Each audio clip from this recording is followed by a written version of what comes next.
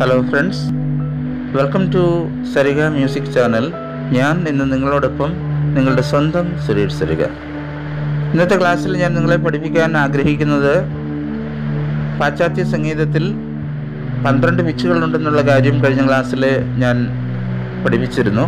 അത് ഇന്ത്യൻ സംഗീതവുമായി എങ്ങനെ ബന്ധപ്പെട്ട് കിടക്കുന്നു എന്നുള്ള കാര്യത്തെക്കുറിച്ചും കഴിഞ്ഞ ക്ലാസ്സിൽ ആ വീഡിയോ നിങ്ങൾ ഒരിക്കൽ കൂടെ ശ്രദ്ധാപൂർവം കാണുകയാണെങ്കിൽ നിങ്ങൾക്കത് മനസ്സിലാകും.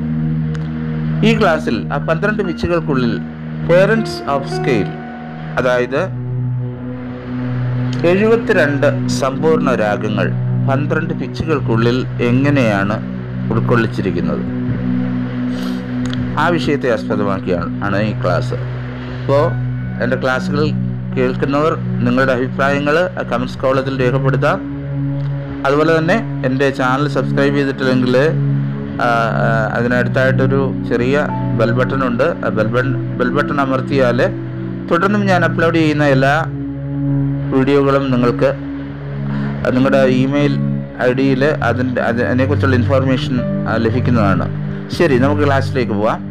അപ്പോൾ നമ്മുടെ ഇന്നത്തെ വിഷയം പന്ത്രണ്ട് പിച്ചുകൾ അധികം എഴുപത്തിരണ്ട് സ്കെയിൽസ് ഇതാണ്. ഓക്കെ അപ്പോൾ ബുക്കും പേപ്പർ ബുക്കും പേനയൊക്കെ എടുത്തിട്ടില്ലാത്തവരാണെങ്കിൽ ആ ബുക്കും പേനയൊക്കെ ഒന്ന് എടുത്ത് വെക്കുന്നത് നല്ലതായിരിക്കും. ശരി. ഒന്നാമത്തെ പിച്ചിനെ കുറിച്ച് നമുക്ക് അറിയാം. ഒന്നാമത്തെ പിച്ച് സി ആണ് അല്ലേ? ഓക്കെ. അതിൽ സി എന്ന അക്ഷരത്തിൽ ഒരു ആറ് സ്കെയിൽസ് ഉണ്ട്. എത്ര സ്കെയിൽസ് ഉണ്ട്? ആറ് സ്കെയിൽസ് ഇപ്പോൾ സി സി എന്ന അക്ഷരത്തിൽ എത്ര സ്കെയിൽസ് ഉണ്ട്? ആറ് സ്കെയിൽസ് ഓക്കെ. അങ്ങനെയാണെങ്കിൽ സി ഷാർപ്പ് എന്ന അക്ഷരത്തിലും ഒരു ആറ് സ്കെയിലുണ്ട് അപ്പോൾ ആറ് സ്കെയിൽസ് അതിലുണ്ട് അപ്പോൾ ആറ് സ്കെയിൽസ് അധികം ആറ് സ്കെയിൽസ് ഓക്കെ അടുത്ത അടുത്ത പിച്ച് ഏതാണ്? ഡി ആണ്. ആ ഡിയിൽ കൊണ്ടൊരു ആറ് സ്കെയിൽസ് അപ്പം പ്ലസ് ആറ് അല്ലെങ്കിൽ സിക്സ് അടുത്ത വന്നിട്ട് ഡി ഷാർപ്പാണ് ആ ഡി ഷാർപ്പ് ഉണ്ട് ആറ് സ്കെയിൽ അപ്പോൾ വീണ്ടും ഒരു ആറ് എഴുതുക പ്ലസ് ഇടുക. വീണ്ടും ഇയിലേക്ക് വരുമ്പോൾ അവിടെയും ഉണ്ട് ഒരു ആറ് സ്കെയിൽ അടുത്ത വന്നിട്ട് പ്ലസ് ഇട്ടതിന് ശേഷം അടുത്ത എഫിലേക്ക് വരിക. എഫിൽ ഒരു ആറ് സ്കെയിൽ പ്ലസ് എഫ് ഷാർപ്പിൽ വരുന്നു. അതിൽ ആറ് സ്കെയിൽ പ്ലസ് ജി ജിയിൽ ഒരു ആറ് സ്കെയിൽ പ്ലസ് ജി ഷാർപ്പ് അവിടെയും ആറ് സ്കെയിൽ വീണ്ടും എയിലേക്ക് വരുന്നു. എയിലും ഒരു ആറ് സ്കെയിലുണ്ട് പ്ലസ് എ ഷാർപ്പ് ആറ് സ്കെയിൽ പ്ലസ് ബി ആറ് സ്കെയിൽ ടോട്ടൽ ഈ സ്കെയിലുകളെല്ലാം കൂടെ ഒന്ന് കൂട്ടി നോക്കി. അപ്പോൾ ഇങ്ങനെ കൂട്ടി നോക്കുന്നതിനേക്കാൾ എളുപ്പമായിട്ട് നമുക്കിത് മറ്റു രീതിയിൽ നമുക്കിത് കണ്ടുപിടിക്കുവാനായിട്ട് സാധിക്കുമെന്ന് നമുക്ക് എല്ലാവർക്കും അറിയാവുന്ന കാര്യമാണ്. എങ്ങനെയാണ്? ടോട്ടൽ പിച്ചുകൾ എത്രയാണ്? പന്ത്രണ്ട് എണ്ണം. ഓക്കെ ഈ പന്ത്രണ്ട് ആ പന്ത്രണ്ടേ ഗുണം. അല്ലെങ്കിൽ ട്വൽവ് ഇന്റു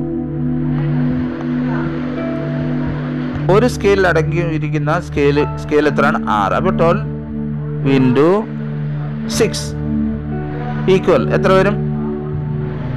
എല്ലാവർക്കും അറിയാം അല്ലേ എഴുപത്തിരണ്ട് സെവന്റി ടു നിങ്ങൾക്കറിയാം സെവന്റി ടു സ്കെയിൽസ് അപ്പോൾ ഈ പന്ത്രണ്ട് പിച്ചുകൾക്കുള്ളിൽ ഓരോ പിച്ച് പിച്ചുകളിലും ആറാറ് സ്കെയിൽസ് വെച്ച് ഒളിച്ചിരിപ്പുണ്ട്. ഓക്കെ അപ്പോൾ അത് കണ്ടുപിടിക്കാൻ വളരെ എളുപ്പമാണ്. ഒരു സ്കെയിൽ അടങ്ങിയിരിക്കുന്ന ഒരു പിച്ചിൽ അടങ്ങിയിരിക്കുന്ന സ്കെയിൽസ് ഇന്റു ടോട്ടൽ പിച്ച് പന്ത്രണ്ടാണ് ഈക്വൽ സെവന്റി ടു ഇവിടെ കിട്ടിയോ? ഇതാണ് പേരൻസ് ഓഫ് സ്കെയിൽ എന്ന് പറയുന്നത്. വെസ്റ്റേൺ മ്യൂസിക്കിലെ പേരൻസ് ഓഫ് സ്കെയിൽ എന്ന് പറയുന്നത് ഇങ്ങനെയാണ്. ഇതാണ്. അപ്പോൾ പന്ത്രണ്ട് പിച്ചുകളിൽ ഓരോന്നിലും ആറാറ് സ്കെയിലുകൾ ഒളിച്ചിരിപ്പുണ്ട്. അപ്പം ഓരോ പിച്ചുകളിലും അടങ്ങിയിരിക്കുന്ന സ്കെയിലുകൾ ഏതൊക്കെയാണ് എന്നറിയണ്ടേ? അത് നിങ്ങൾക്ക് പറഞ്ഞു തരുവാനായി വീണ്ടും ഞാൻ അടുത്ത ക്ലാസ്സിൽ എത്തും തൽക്കാലം വിട പറയുന്നു. Ismi Suresh Sarika bye bye